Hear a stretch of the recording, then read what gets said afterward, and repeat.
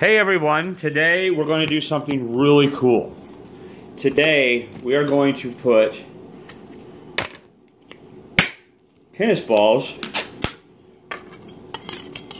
on the legs of my walker. That's right, I have a walker. From what I understand, it's better to have tennis balls on the bottom. So, that's what I'm going to do. So I guess you take a thing of tennis balls, 99 cents. Take a steak knife.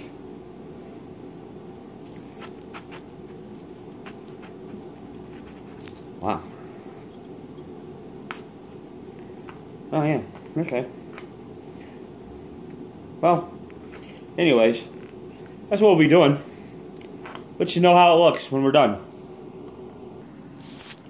Well, excuse me, we got it all done. Notice we have tennis balls on the bottom of the walker.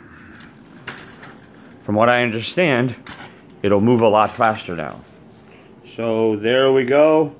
Now the dogs are not happy because the dogs think that, uh, you know, we'll be playing fetch with the walker. But they'll get over it.